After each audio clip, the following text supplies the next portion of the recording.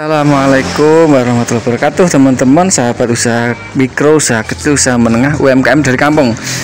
Untuk kali ini kita ada project untuk salon interior cleaning full. Uh, Ayla jadi mobil Ayla dengan tingkat kekotoran. Kalau uh, eksteriornya masih cukup bagus karena memang pemiliknya untuk keramik belum di keramik coating tapi kita fokus untuk interior aja dulu ya. Gimana sih kondisi interiornya Nah, sebenarnya itu dia kotor-kotor biasa untuk bawahnya. Cuman untuk membersihkan plafon yang begitu kotor, ini lihat.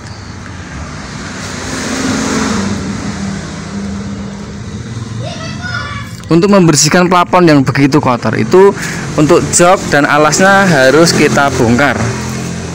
Harus kita bongkar ini. Karena kalau tidak dibongkar untuk membersihkan plafon nanti akan mengotori jok yang di bawah. Jadi jadi tetap harus dibongkar itu. Karena plafon ini sangat riskan teman-teman. Nah, ini kita lihat kotornya seperti itu. Jadi kotor lamat-lamat ya. Ini pemilik ini tidak bukan perokok teman-teman. Dia bu, tidak merokok tapi tetap aja kotor. Karena ini asap ini bisa asal mulanya itu dari uap-uap yang ke atas gitu ya. Seperti kalau kaca mobil itu tidak pernah dibuka nah itu. Bisa juga dia mengakibatkan mengakibatkan apa itu kerak-kerak atau pelapon tuh lama-lama tuh. Nah ini kondisi kondisi kotornya ya teman-teman ya. Ini ini. Beforenya seperti itu ini kotor banget. Dan ini juga. Nah kita akan lihat afternya untuk esok hari. Terima kasih sudah me, sudah nyalon di tempat kami. Semoga nanti uh, panjenengan puas dan jika ada komplain dan masukan silahkan langsung saja tidak apa-apa. Kalau tidak bersih dikembalikan boleh. Kami itu salon bergaransi ya.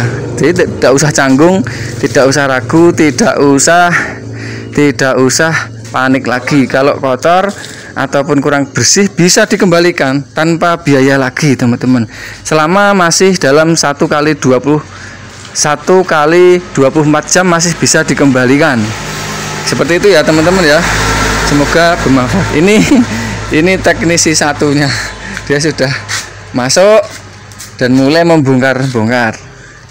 Untuk semua jenis salon yang yang dikerjakan di tempat kami itu tetap gratis untuk untuk biaya cuci mobilnya tetap gratis ya. Setiap salon itu untuk cuci mobilnya gratis dan itu pasti dicuci tidak mungkin tidak.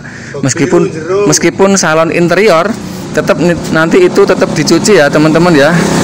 Seperti itu. Nah kalau ini langganan biasa nah itu biasa. Ini mobil jelek punya yang punya ini. Dan yang satu di sebelah sana itu. Kita keringkan di sebelah sana itu. Nah itu. Nah itu sebelah sana itu kita kita keringkan di sana yang sudah kita bersihkan. Seperti itu ya teman-teman ya. Dia ada area Boyolali bisa home service juga. Eh, home service dan booking minimal tiga hari sebelumnya atau dua hari sebelumnya sudah memberi kabar ke kami. Jika dikerjakan di tempat kami maka akan lebih nyaman karena alat dan bahannya sudah ready.